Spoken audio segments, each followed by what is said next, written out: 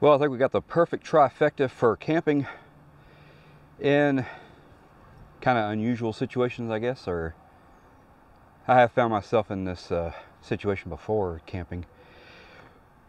I want to be in my Haven XL tree tent and I want to be hanging in the Haven tree tent, not on the ground like a bivy or on a cot. Uh, I have found that hanging in it is pretty much the best uh, experience with the Haven XL. Uh, I do have the Tensa 4 basically self-suspending uh, hammock system. Uh, it's a little different when you have the hammock hanging in the Tensa 4. You want your head end uh, your tethered end, you want that to be higher. So that's your foot end. Your head end, your head end is away from the main tether point. So in a hammock, traditionally you want your head a little bit lower so that you kind of settle down into the hammock. But with the Haven, if you do that same setup, that same philosophy, your head, you're going to be like that. You know, so unless you don't want, unless you want all the blood rushing to your head, you can keep it that way. So what we have to do with the Tensa 4 is we have to, these connection points, let me help you out here. these connection points here that are on the ground, uh, you're going to want to pull this back away from the tethered end to make your head end higher. So what that does is once you get it to where you're laying flat even and I have even gotten it to where my head's a little bit higher than my foot which is what I like. You have to be careful with this Tensa 4. If you get in on the wrong side this head end will flip over kind of like a mouse trap. Uh, you do have a tethered end. You're supposed to leave it slack uh, if you tighten that, you will do some damage to the structure. It's not what it's intended for. You can't actually hang in here without the head end being tethered. All right, so I don't want to get too much into the Tensa 4. I'm just trying to get it in relation to the Haven XL tree tent. All right, well, let's get back to another point, the trifecta of, so I mentioned two of them, the Tensa 4 and the Haven XL. The third one, and it's probably the most important one, is the AirPad.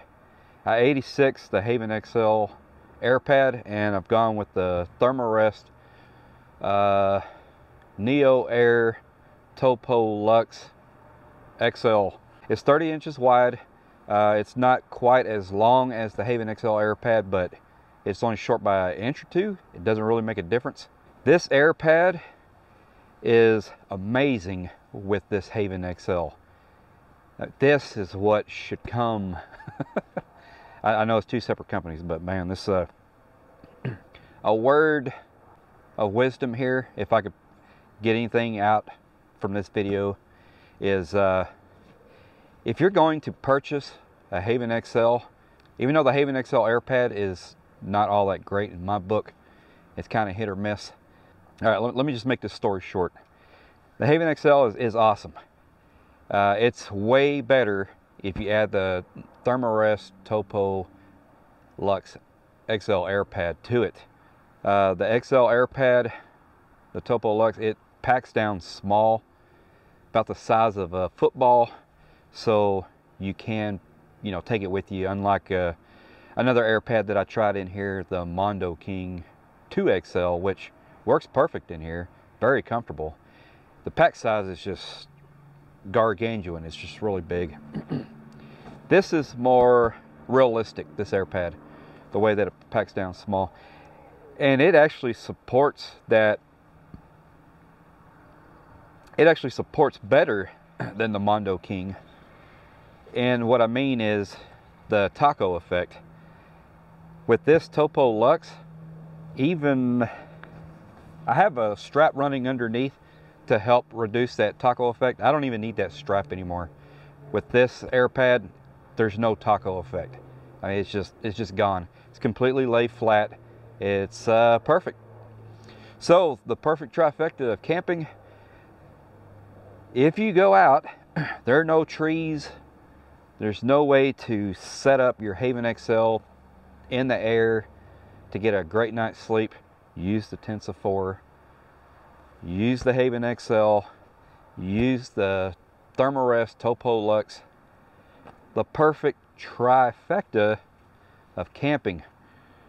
So no matter what options you got out there, I mean, you're going to be set. This, you, you, you carry this with you, you got everything you need for a perfect night's sleep. So now let me tell you real quick, if you are familiar with the Tensa 4, then this information is going to be for you. If you're not, there's a lot of information out there on the Tensa 4, how you're supposed to set it up properly. Uh, I did set it up properly for a hammock, traditional hammock. But when you add the Therm-a-Rest, or when you add the Haven XL, you got to do a lot more tweaking and positioning. So let me just show you real quick. So right now, uh, if you have this set up for a hammock, it should not be leaning towards the foot end, which is the main tethered end. It should be leaning towards the head end. And to do that, you have to pull this whole structure back. There you go. This is the way it's supposed to look, the Tensa 4, with a traditional hammock. But notice our head end. you cannot make this your head end. You have a head end and a foot end with the Tensa 4. Trust me, stick with that. If you do anything different, if I got in on this side of this strap, which is the same side as the main tethered end, which is the foot end, this is going to collapse over on me. So you don't want that. You have to get in on the head side, away from the main tethered end. So that means our head is down here in the Haven XL. And at this angle, that's not going to be, I mean, unless you're a vampire, you like to hang upside down. And, you know, this is kind of like a coffin, the Haven XL. All right, so anyway, to avoid that, we just pull it back this way.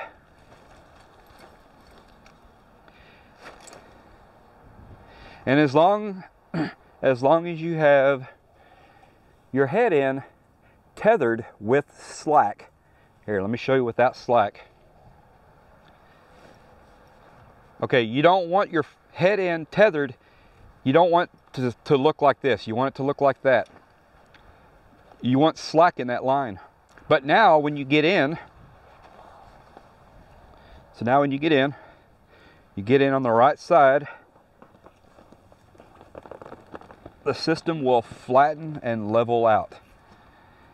So if you're using this setup, the Tensa 4, these two spots on the ground where it goes out that way and it connects here on the ground, you can spread these two or narrow the two depending on how high off the ground you want to be. Also, if you're in here and your poles are hitting the side of your hammock, you might want to spread them out just a little bit. So you're just trying to find that sweet spot of the height that you want off the ground and without interfering with your poles.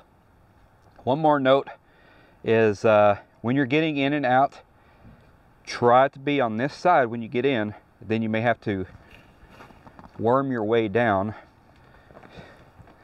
because if you get it on this side it's this is going to flip over. You don't want to do that. Let's, let's see. Okay so all my weight is back here on the head end. That's what we want. Now we can start sliding down to where our head is not bunched up on the the hammock. So now I'm in here good. This is pretty level. I'm not sure what it looks like out there with the camera, but in here it feels a little level and it feels like my head is a little bit higher than my feet, which is what I want. So now when you're getting out, just shift your weight back towards the head end. And whatever you do, don't grab these poles and use these as a pull point. Don't do that. So now, no mouse The only thing is just gonna lean opposite of way it's supposed to lean when you're using the Haven XL. This is a great option for, uh, oh gosh, maybe in the desert area if you're doing some uh, overlanding or something. Uh, all you Haven XL lovers, uh, this is a great option with the Tensa 4. And also with the Therm-a-Rest NeoAir Topo, man, it's a long name, Topo Luxe XL. I'm gonna put it all on the screen. I'll leave links in the description just in case you want to uh, duplicate this system. Uh, I plan on using this, uh, I do have a side-by-side. -side. I want to take this with me. I want to do some camping, you know, some uh, overlanding in the side-by-side. -side. And there's not always trees available. And I don't want to carry a big cot. So I want to be in the air and I want to be suspended in my Haven XL. So while we're on the point of the Haven XL, let me just tell you, it is a great, great, it is a great shelter. Uh, the only thing is the air pad. So let, let, me just share a story with you. So this morning, uh, I went ahead and I ordered the Haven XL Safari. And the Safari, I think is the material is going to be a little bit more like canvas, I think. I'm not sure. Uh, I have not seen a safari in person, just from stories and videos that I've seen and stories that I've heard, but I think it's a little heavier material and uh, you can raise the head end with a strap underneath. I could do that with the strap that I have running underneath here, but it also pulls my feet up as well. So basically what I'm looking for, I'm looking for that little bit heavier material there's nothing wrong with this one. Uh, if you're looking for a light, good, sturdy, you know, one, the, the Haven XL is plenty fine. But I'm going to be carrying this on a motorcycle in a side-by-side, -side, maybe in my truck. And uh, I just want to try out the Safari. And so I ordered it, but I ordered it without an air pad because I've got two air pads that are amazing, awesome with these. So the Haven XL and the Safari are the same size, 30 inch wide, however long. These pads will fit either one. All right, well, thanks for tuning in. And uh, this is a really cool setup. All right, video's long enough. See ya.